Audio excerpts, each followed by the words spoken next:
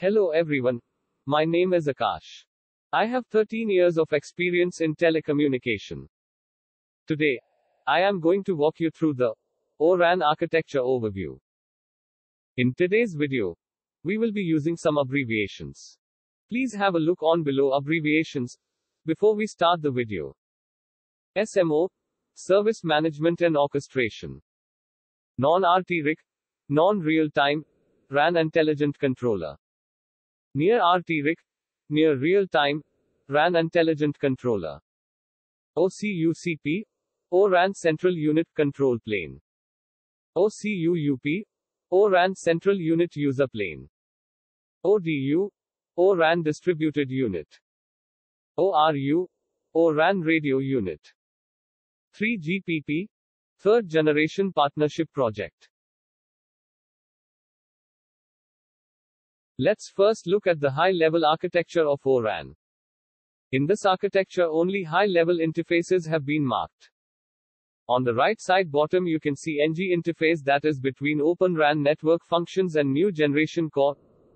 This interface has been defined by 3GPP. The interface marked with back line that are between SMO, new generation core and between SMO, external system providing data to the SMO, are out of scope for Open RAN. O2 interface. This is the interface between SMO and OCloud. A1 interface. This is the interface between non-real-time RIC and near real-time RIC. O1 interface. This is the interface between SMO and Open RAN network functions. Open Front Haul M-Plane interface. This interface is between SMO and ORU. All interface that is O2, A1, O1, Open Front Haul M-Plane, are defined by Open RAN. Now let's have a look on logical architecture of ORAN.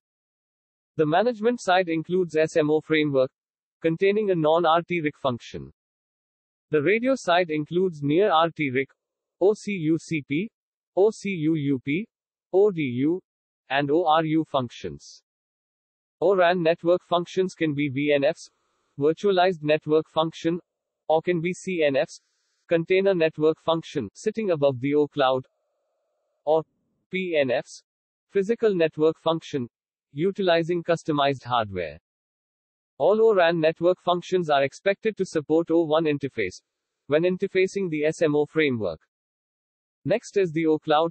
It is the cloud computing platform comprising a collection of physical infrastructure nodes that meet ORAN requirements to host the relevant ORAN functions, such as near RT-RIC, OCUCP, OCUUP, and ODU, the supporting software components, such as operating system, virtual machine container runtime.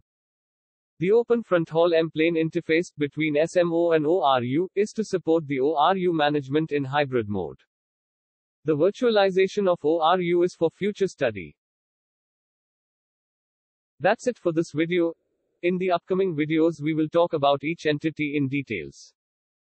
You can visit the site for more information. Thank you for watching. Hope you like the video.